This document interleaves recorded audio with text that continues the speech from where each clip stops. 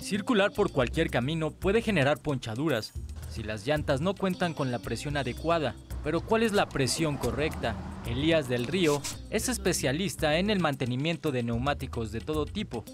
Recomienda revisar las especificaciones de cada auto que se localizan en el armazón interior de la puerta del piloto. Las especificaciones normalmente la trae el manual. Este, por lo regular un auto mediano se infla de, estamos hablando de unas 30 a 35 libras. Este, un auto regular de carga, estamos hablando de unas de 35 libras a 40. ¿Por qué? Porque incluso entre llantas delanteras y traseras puede haber diferencia. Aquí lo que nos están especificando que en la parte de adelante debe de llevar 33 libras o 230 kilopascales. Si el servicio en una gasolinera o vulcanizadora le parece poco preciso, hay que buscar atención más especializada en el centro llantero.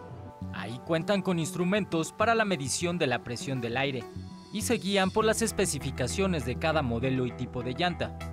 Por seguridad se recomienda revisar la presión de las llantas por lo menos una vez al mes y antes de hacer viajes en carretera.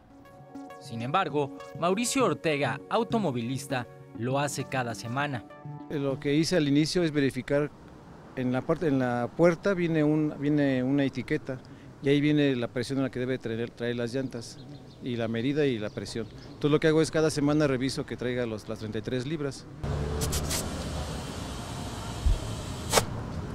Y es que escuche lo que generalmente pasa cuando por descuido se inflan de más o de menos. Lo que pasa es que se puede llegar a tronar la llanta o a hacerse una bola en el costado por la, la, la comprimido que se, que se hace cuando pasa por un bache.